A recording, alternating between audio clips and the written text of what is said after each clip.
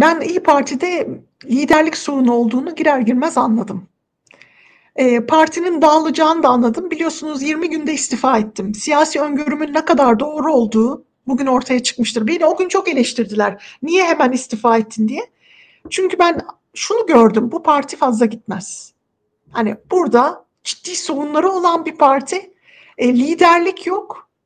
E, bugün söylediklerinin tam tersini yarın söylüyorlar. Sürekli tenakuzlar ve çelişkilerle dolu bir e, hareket tarzı var.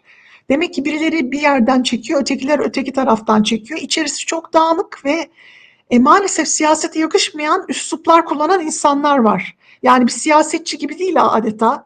E, oraya ne için konuldukları belli olmayan bir sürü adamlar var. Hiç hoşlanmadım ve 20 günde istifa ettim. Ne kadar haklı olduğumu da e, bence e, bugün herkes görüyor yani.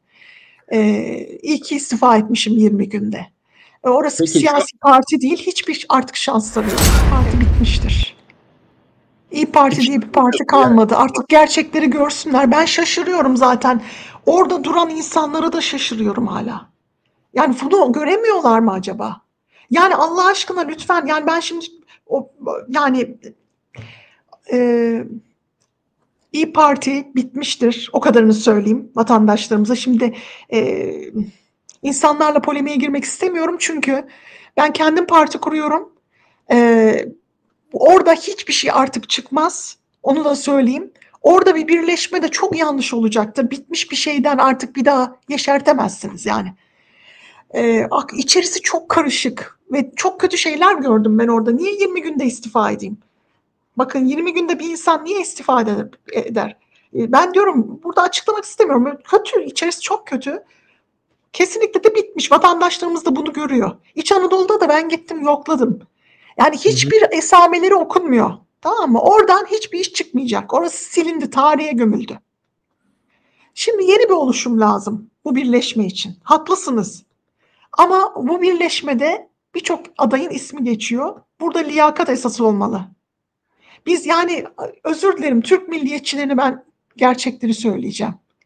Bir Buyurun. tane boş beleş sahtekar geliyor, öteki boş beleş gidiyor, öteki boş beleş sahtekar geliyor.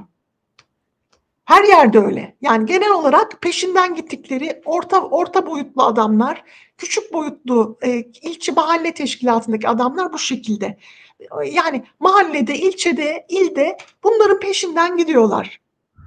Böyle biri gidiyor biri geliyor, biri gidiyor biri geliyor. Bir kandırılıyorlar bir daha kandırıyorlar. Allah aşkına aklınızı başınıza toplayın artık ya. Yani lütfen yani bir taraftan da oradan klavyeden bana küfrediyor bazısı da. Ya siz benim neyimi gördünüz? Bana bugün ben bugün AK Parti'den Türk milliyetçiliği yüzünden ihraç edilmiş bir insanım. Siz niye gidip AK Partililere küfretmiyorsunuz da o zaman madem öyle AK Parti'ye o kadar düşmansınız neden bana küfrediyorsunuz?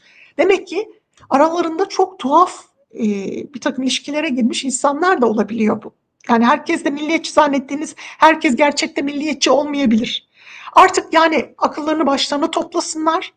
Yıllarca kullanıldılar. Bakın ben şuna da dikkat ediyorum. Mesela şuna da bakıyorum. Ee, AK Parti siyaset yaptım. İyi kötü eşraf. Tamam mı?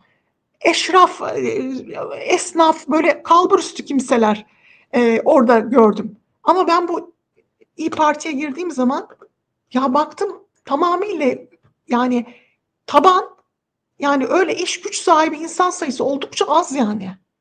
E, Türk milliyetçileri hep böyle e, nasıl diyeyim size mülksüzleştirilmiş işte dava demişler kullanılmış 1980'den önce. Dava demişler ülkücüler sokağa sürülmüş orada kullanılmış. Ondan sonra şimdi artık çıkmayacaksınız demişler evlerine kapatılmışlar. Yani tam açık konuşamıyorum çünkü kimseyi de kırmak istemiyorum. Sadece ne olur artık e, beni dinlerlerse varsa öyle gençlerden rica ediyorum artık herkes aklını başına toplasın yani. Bir, bir birisi daha gelir 20 yıl daha kandırılırsınız. Boş beleş siyasetçilerden artık millet e, kendini kurtarmalıdır. Çünkü bu kandırılmalar yüzünden bir 20-30-40 sene daha e, 20-30-40 sene daha e, Türkiye Cumhuriyeti'nin önü kapanabilir. Bir, bir başka kişiye saplanırlar, onu da, o da dolandırır. Bak kaçıncı bu değil mi? Kaçıncı? Bakın kaçıncı? Ben şimdi herkes kimlerin milleti aldattığını, ülkücüleri, milliyetçileri herkes burada biliyor. Bu kaçıncı? Ee, bir tane değil herhalde değil mi? Yakın zamanda oldu hem de. Bir sürü eleman var. Bir eleman gidiyor, öteki eleman geliyor değil mi? Artık aklınızı başınıza toplayın. Ee, liyakat, en liyakatlı kimse, liyakattan da anladığınız kas gücü olmamalı yani. Tamam mı? Liyakat beyin gücüdür. Ha, en vurdulu kırdılı, en çok adamı toplayan etim. Biz mafya değiliz. Ülkücü mafya değildir. Mafya ülkücü değildir. Bir adam mafyaysa, kendine de ülkücü diyorsa bu adamın peşinden gitmeyin. Bu bir sahtekardır. Mafya ülkücü değildir. Ülkücü de mafya değildir. Tamam mı?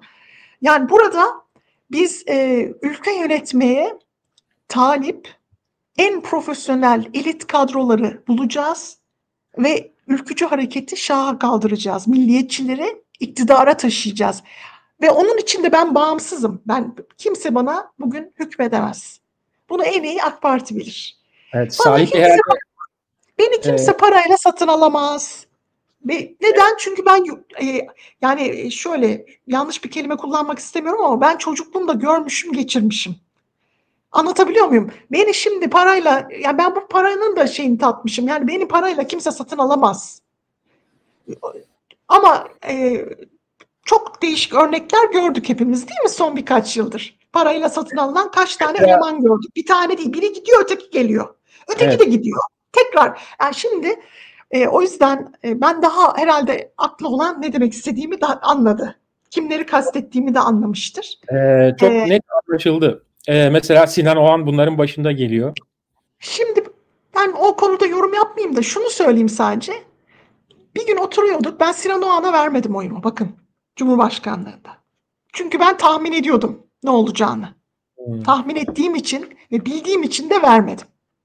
Ama açık açık söylemedim gene. Çünkü hani e, e, elinize kanıt yokken bir insana karşı hani e, üstelik milliyetçilerin de moralini bozmak istemedim.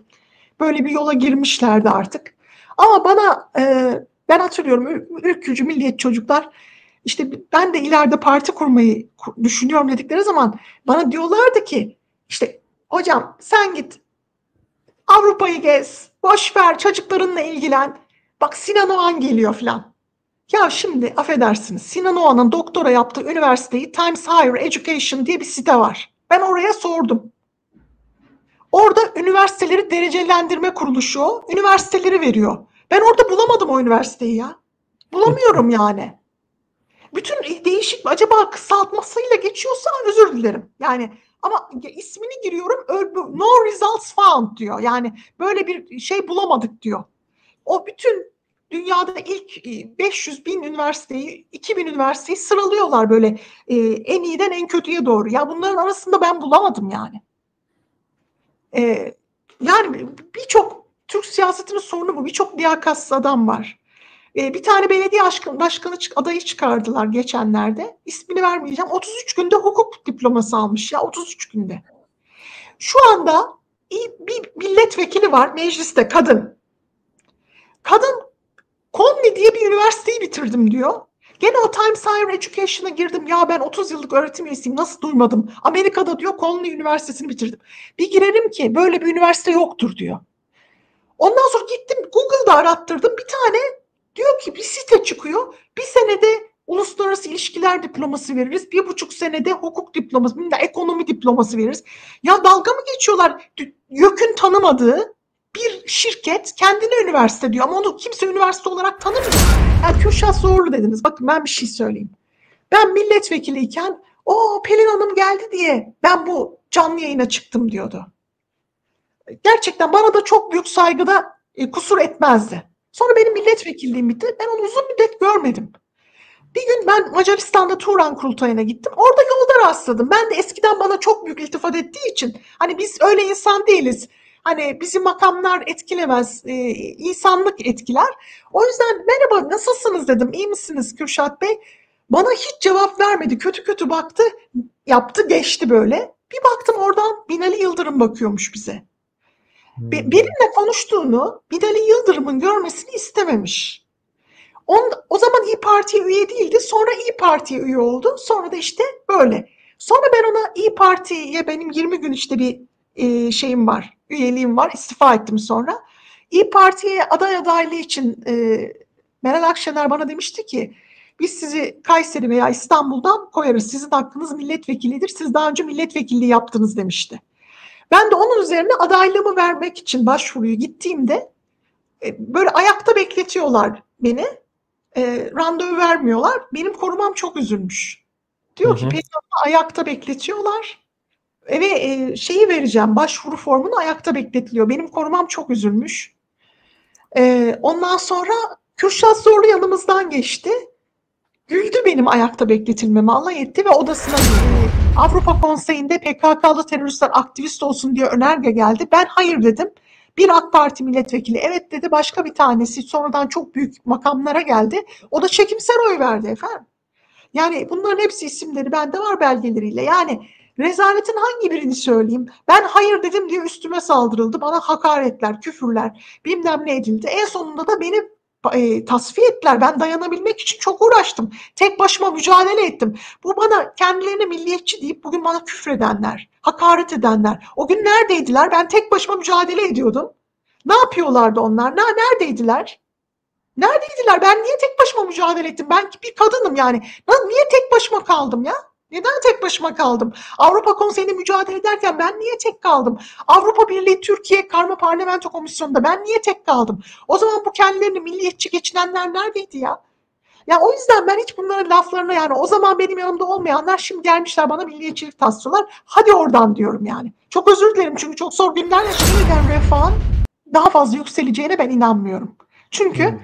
e, AK Parti'den evet oy alabilirler ama bunun bir sınırı var. O da sadece milli görüş veya İslam İslamcı diye kendini tabir eden kesimlerin oyunu alabilirler. Ama biliyorsunuz AK Parti merkez sağda yayılmıştı. Yani onun kemik oyunun dışında da bir takım oyları vardı. O yüzde 52'ler, yüzde 65'ler öyle sağlanıyordu. Onlardan oy alamaz. Zaten e, bir insanın ben şuna inanıyorum. Babası önemli bir e, lider oldu diye bir grup için kendisinin de lider olarak kabul edilmesini çok yanlış buluyorum. Bu bir padişahlık değil. O babasındaki yetenekler onda olacağının hiçbir garantisi yok. Ee, yani bir böyle bir şey olmaz yani bu ilkel bir düşünce olarak görüyorum ben bunu. Lider doğulur babadan e, geçmez o. Yani Atatürk'ün babası bir gümrük memuruydu ama Atatürk bir liderdi, büyük bir liderdi. Ha bunların örneklerini çoğaltabiliriz. Yani babadan oğula geçen bir şey. O padişahlık oluyor. Çok ilkel bir düşünce oluyor. E, ve e, ben yani bir yere gelebileceklerine inanmıyorum. Ayrıca başka şeyler de var yeniden refahla ilgili. Mesela oldukça genç bir insan olan liderleri, partinin genel başkanı yaşlı taklidi yapıyor. Yavaş konuşuyor, yavaş böyle filan. Ben bunu da yani e, bazen gülme tutuyor beni. Çünkü benden en az 10-15 yaş genç bir insan o. Yani böyle ağır ağır konuşup böyle. Yani demek ki Türkiye'de bu bir yani siyasetin bir e, tiyatroya dönmesi benim içimi acıtıyor çünkü Türkiye'nin çok ciddi sorunları var efendim. Yani babası Erbakan diye e, onun da ilerleyeceğini düşünmek e, bence çok e, doğru bir düşünce değil. Ayrıca e, ne babasının eğitimi var onda. Babası bir İTÜ profesörüydü. Değil mi? Makine mühendisiydi. Aynı eğitime, aynı bilgi e, görgüye sahip değiller. Kaldı ki Erbakan da yani e, bütün Türkiye'nin e, onayını kazanmış, büyük iktidara gelmiş bir e, siyasi lider değildi. Belli bir grubun hani Türkiye içerisinde e, öncüsü gibiydi. Şimdi e, bir o, e, diğer Zafer Partisi, yani o yeniden Refah'ın yani sadece bu konjonktürde bir oy aldığını düşünüyorum. E, işte bu yani parçalanır e, AK Parti, parçalanırsa bir kısım oraya gider ama hepsi değil. Ben AK Parti içinde çok zor şartlarda milletvekilliği yaptım efendim. E, bana konuşma yasaklandı mecliste. Bakın iki sene hiç konuşma hakkı verilmedi. Vermiyorlar. Ne yapayım tabanca mı tutacaksın kafalarına? Bir de benim şöyle bir mülazam da vardı. E, diyordum ki ben ben gidersem yerime milli şuuru olmayan birisi gelebilir. Onun için benim burayı bırakmamam lazım. Çünkü tek başıma mücadele ettim pek çok konuda. Bunların arasında Suriyeli e, sığınmacılar mevzu var. E, benim çözüm sürecine karşı çıkışım var. Avrupa Konseyi'ndeki mücadelelerim var. Hepsini tek başıma yaptım. O yüzden ben gitseydim yerime gelecek adam bu mücadeleleri yapmayacağından yerimi tutmak benim için yani mevziyi tutmak birinci e, sebepti. İkincisi e, bir başka şey daha var. E, iktidar partisi milletvekillerine önerge vermek yasaklanmıştı. Direkt ihraç sebebidir efendim. Benim ihracımı ben 8 sene öne almış olurdum. Avrupa Konseyi'ndeki birçok yaptığım e, büyük mücadeleler, orada çıkarttığım pek çok e, 13 tane Avrupa Konseyi kararı çıkartmışım Türkiye'nin lehine. Onların hiçbirini yapamamış olacaktım. Yani direkt beni ihraç edecekler. Çünkü baştan söylediler. İktidar Partisi kendi e, e, bakanlarına karşı e, milletvekilleri önerge veya işte e, soruşturma bilmem ne araştırma önergeleri veya veremez. Bu yasak dediler. E, kanun teklifleri hazırladım dört tane. Gruba teslim ettim. Sümen altı ettiler. Kanun tekliflerini aldım. Sayın Cumhurbaşkanımıza götürdüm. Orada danışmanlar aldı. Sümen altı edildi. Sayın Cumhurbaşkanımız tabii onlara veriyor. Kim bilir bir daha da gitmedi onun önüne yani filan. Dolayısıyla hani iktidar partisinin bazı kuralları var. Öyle şey değil kafanıza göre hani e, öyle özgürce önerge verebileceğiniz bir yer değil. Hangi parti iktidara gelse bu böyle olur.